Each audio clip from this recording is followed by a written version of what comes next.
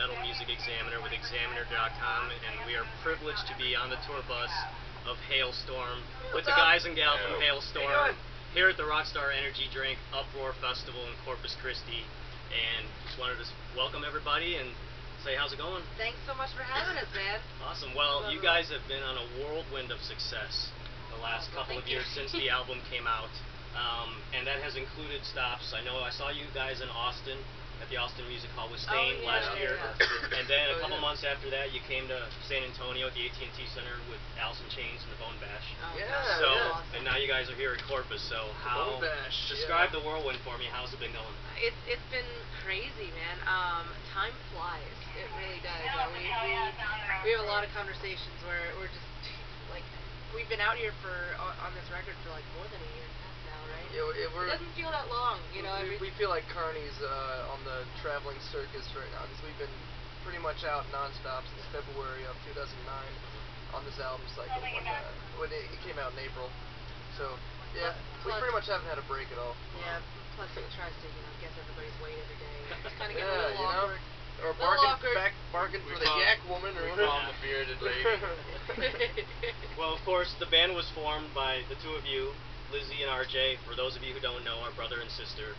Um, what was your vision starting out when you were younger, forming this band? What were you hoping to achieve with this band? I I think it's always kind of been the same goal. Is just to I, I don't know like the the initial spark was you know we had had our first show ever outside of our parents' living room, and just the rush of that was you know basically let's try to do this every day. Let's try to you know keep getting that feeling every day that we get out you know from playing out live and.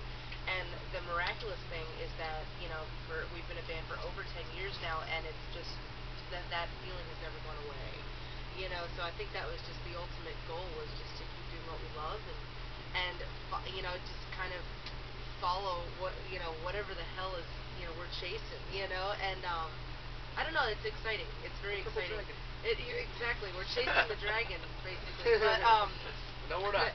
no we're not we're not You can never catch the dragon. can never catch You the never dragon. catch the dragon. You never catch the dragon. Well, Liz, Lzzy, you had a pretty interesting. I just checked out your website recently and checked out your very interesting encounter with Alice Cooper. So for for those who don't know, please share that with us. So, um, yeah, my, uh, this again, like, the, the best thing that ever really happened to me, only because I have always been a huge fan of Alice Cooper, um, huge fan of his writing. I have pretty much everything he's ever put out. Uh, I'm kind of a nerd about him, but, um, but, uh, randomly got to meet him at Amoeba Music. This was not a meet and greet. I, we were just in there. We were, do, we were, um, in California doing our record, and um, Amoeba Music is this huge record store out in California. It's really you can get lost in there for days. Um, we would always go there and you know just look at DVDs and CDs, and everything. So I was searching for some new. You can't go in there without spending $300. Yeah, pretty much, pretty Yeah. much on random stuff, and you're like, why did I? I don't know. I you know.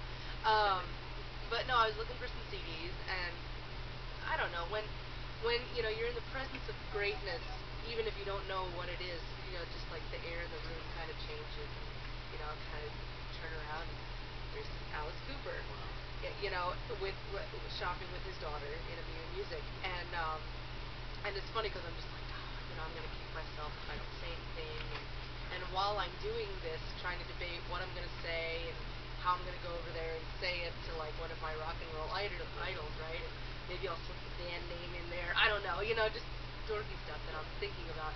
Um, all of a sudden, he's right behind me, and he asks me if um, I I don't have it on me actually, but I used to carry this like little pill case. Oh, yeah, it looks like this. Yeah. Okay. Yeah, There it is. Looks like that. And uh, to carry my earplugs in, and I Okay. apparently he has the same thing to carry some antacids, and so he basically tapped my keychain. He's like, "Excuse me, I'm so sorry, but do you have any antacid in that?" And I'm like, "No, I actually don't," you know. But um, really look like a spider. He was like hanging but there. it was just, I was just like, uh, you just approached me and asked me for an acid. This is the best day of my life. but um, but it's funny because I, my dad just so happened to uh, work for the Johnson Johnson Pepcid AC factory, Oh, so one of us always has Pepcid AC on us because that's just you know how it happens. You bring stuff home and we carry it with us. But Um, so I ended up giving him like this like small travel bottle of Pepcid AC. like here, just take it. You know, you're Alice Cooper. Take everything. I don't care. Want my shoes? You know. But um, but it's funny because we ended up talking and and He would uh, love those shoes. and you know I I mentioned the band and and his daughter is like Halestorm. She's like, I actually met you guys randomly at this club. I, we were talking in the bathroom. Like, this, all this stuff came back. Like, she used to date uh, one of the bands from Philadelphia that we used to play with a lot. And so we actually realized that we ended up meeting each other, you know, early on. So it was kind of this weird, like, stars are aligning type thing. And, and um, really nice guy, by the way. And, and his daughter's beautiful. But, um, Calico. Calico, yeah. But um, it was kind of crazy because then like he left, he's like, oh great, nice meeting you, kind of thing. Thanks for the Wow. Pepcid And um, he started thinking like, that was just Did you ask So him if you could go tour with him next? You know, no, I wasn't that brave. I Well, how was the? Um, you know, you guys did an amazing video for Familiar Taste of Oh, Poison. Tell me what it was like shooting that and what the concept idea was. It was a uh, it was like a murder mystery set in the um, in the 40s, like film noir type thing, and it, it was great. We had a great time filming it. We were at a mansion on LA overlooking the ocean. It was, it was gorgeous. And y- your just vocals just you know really come out on that track, and it's just you can tell that it's a the video. If you haven't seen it yet, look it up. But it's uh, you know they put a lot of thought into it, a lot of time. it was one of those videos that we couldn't just do what we had done like three times prior to that and just you know have it be kind of a rock video and have all of us with our instruments and you know it you know it needed to be something unique and special for that song and and um you know Joe uh Josh's uh Josh's buddy Jeremy Alter and and uh and uh Anton Claudon um he uh th- they wrote up this incredible script and uh and it's funny because like I think that like they had been asking to write scripts for us forever Yeah, yeah. Like when we were living out in L.A., just working and writing on our record, I met these guys and became good friends. And uh, I mean, over over many breakfasts, you know, it was like, you ever need any scripts or anything for a music video? And at that point, it was like, know, what? Yeah, like we weren't even thinking about music videos. We were just we were writing our damn record and and uh, well, just that the thought it was a it was a, a long off th- uh, thought at that point, but um, when when the time came, you know, gave him a call and uh, man, it it it, went, it was one of our the best experiences ever. We we had so much fun. It really was. Everybody got to act. We really. It was the first video that we were actually like all, you know, in character. As in, like it wasn't just like, all right, let's put on our guitars and let's rock out in front of a camera. Yeah. It, it it couldn't be that way. So we really. I mean, I don't know. For me, I kind of got lost in it all, and Yeah. and uh, it was a neat feeling. Walking around this huge house Yeah. and like Yeah. It's yeah, it was crumbling that- into the Palisade, ocean. yeah, it's it's fun to like get into character. So what are the plans for the next album? Because like you said, you, this album has been out almost two years. Um, have you started writing it, or are you just pretty much Oh, yeah. continuing to ride the wave of this one? We well, we're kind of, you know, multitasking because we're definitely still like we're not sick of these songs. We're, you know, um, if anything, our fans kind of rejuvenate all of that for us daily, and you know, every time we get we get to play, I get off. It's great, you know, every night. But um, but we have, you know, begun writing for the next record, and and uh, uh, and got some incredible new songs that, you know, we can't wait to get finished and put out on a record. But at the same time, you know, this is kind of we're not even really halfway through this record. You know, we're kind of on the permatour. so it's good.